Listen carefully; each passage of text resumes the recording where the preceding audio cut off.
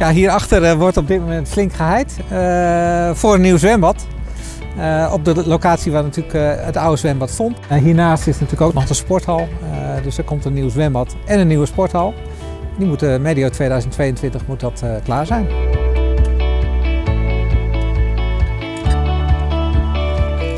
Ja, het zwembad en de sporthal zijn, of misschien moet ik zeggen, waren 30 jaar oud. Dus ook de technische installaties, uh, dat begon toch wel een beetje eh, wankel te worden. Dat betekent dat we hebben besloten om een nieuw zwembad en een nieuwe sporthal te bouwen.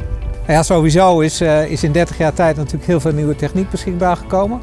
Dat betekent dat dit zwembad ook een stuk duurzamer zal zijn. Uh, all electric, dat soort zaken. maar ook in de techniek van het zwembad zelf natuurlijk. Met een deels beweegbare bodem. Ik geloof voor doelgroepen helemaal en voor het wedstrijdbad voor een gedeelte.